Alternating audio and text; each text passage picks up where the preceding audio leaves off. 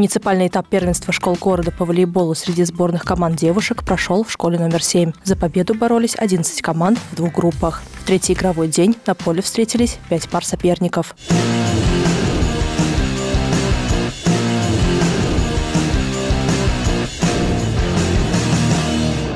В волейболе важна техничность, предельная концентрация и внимание. Всему этому юные спортсменки учатся на дополнительных тренировках и занятиях. Каждая сборная команда стремится показать наилучшие результаты на первенстве школ города по волейболу среди девушек. Перед соревнованиями прошли предварительные игры, товарищеские встречи, до которых оценивали уровень команд. В третий игровой день на поле встретились пять пар. Школе номер 17 удалось обыграть соперниц из 20-й школы со счетом 2-0. Во многом победе поспособствовала группа поддержки. С нами была сегодня группа поддержки из нашей школы, пришло много человек, все нас поддерживали. Это тоже очень помогает на играх. В прошлые года не получалось занять какие-то призовые места. В этом году мы с самого начала года начинаем начали тренироваться. Вот, очень готовились к этим соревнованиям. И сейчас уже смогли одержать не одну победу. На муниципальном этапе первенства школ города по волейболу среди девушек участвовали 11 команд, которые разделились на две группы. Из каждой группы в полуфинальные и финальные встречи вышли по две команды, которые разыграли призовые места. На школьных соревнованиях мы участвуем каждый год. Э, каждый год приходит новое поколение из младших классов. Э, Все это наигрывается. Команда очень слаженная, как бы, и играем довольно хорошо. Бывают какие-то спорные моменты, как бы мы девушки еще такие с характером, нам сложно иногда договориться, но находим компромисс, как бы, и мы не обижаемся, главное, друг на друга.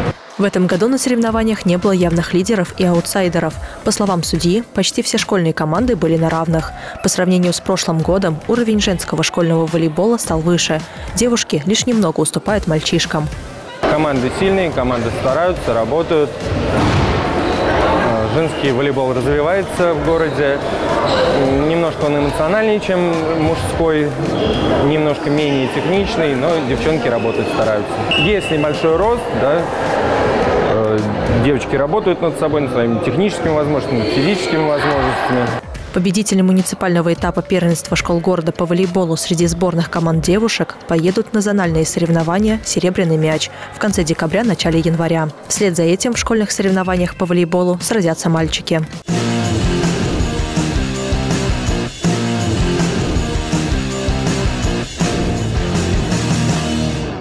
Спортивные соревнования «Веселые старты» для детей-инвалидов и детей с ограниченными возможностями здоровья прошли в молодежном центре. За победу в эстафетах поборолись четыре команды. Мероприятие приурочили к декаде инвалидов.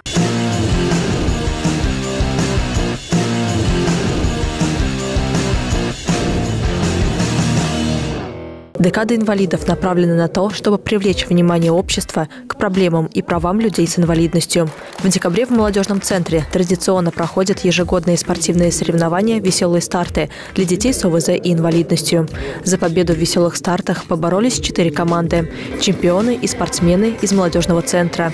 «Энергия» – школа номер один и «Дельфины» – школа «Икар». Со спортивным праздником ребят поздравили представители духовенства и Департамента по делам молодежи и спорта.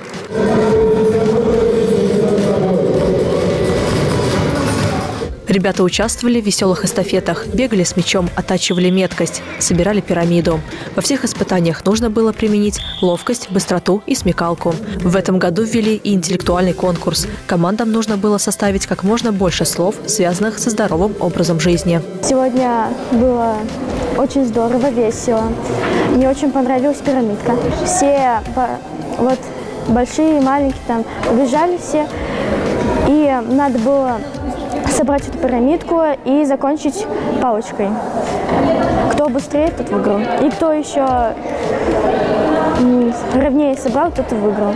Каждый участник смог на соревнованиях бросить себе вызов, преодолеть внутренние барьеры и страхи, стать сильнее и увереннее в своих силах. В организации спортивного праздника помогали волонтеры клуба «Инсайт».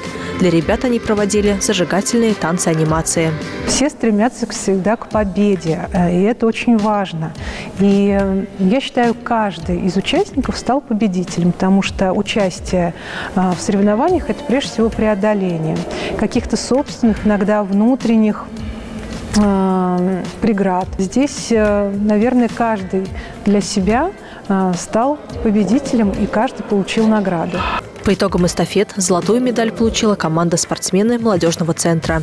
Дельфины завоевали серебро, а бронза досталась команде «Энергия» из первой школы. Мне больше всего понравилось испытание с мячиком самое первое, ну, было самое легкое. И вообще понравились соревнования. Спасибо организаторам за такие крутые и классные соревнования. Мы хорошая команда, хорошие дети, хорошие люди, мы любим спорт. Победители, призеры и участники получили дипломы и подарки.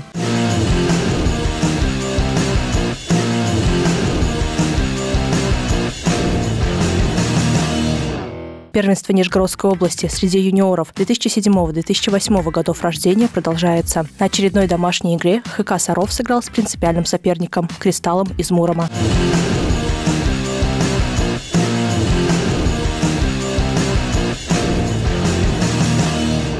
Удаление, драки, водопад шайб. Очередная игра ХК «Саров» на выезде проверила нервы болельщиков на прочность. На своем льду их принял бессменный лидер первенства, который играет вне зачета, команда АК из Павлова.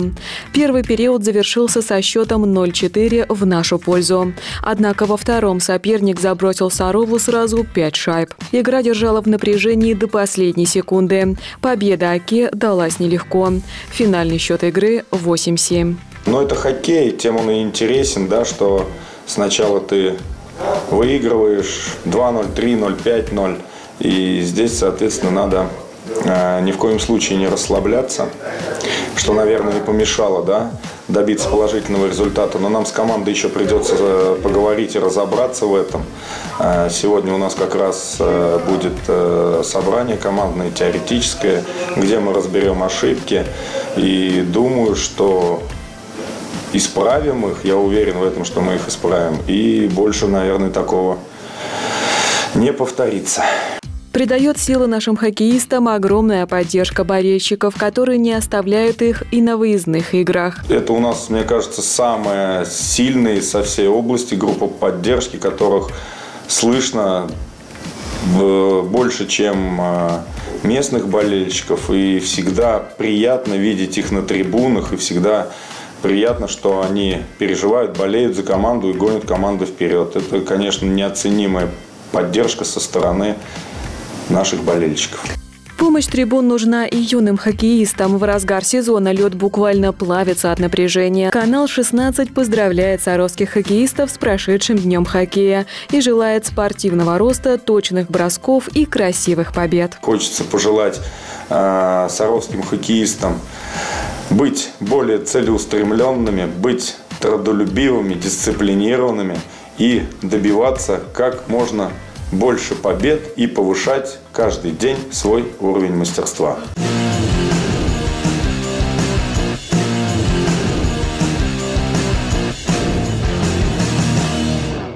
Водопад шайб ХК «Саров» встретился с бессменным лидером первенства Нижегородской области по хоккею высшей лиги, который играет вне зачета, командой АК из Павлова. Битва титанов проверила нервы болельщиков на прочность.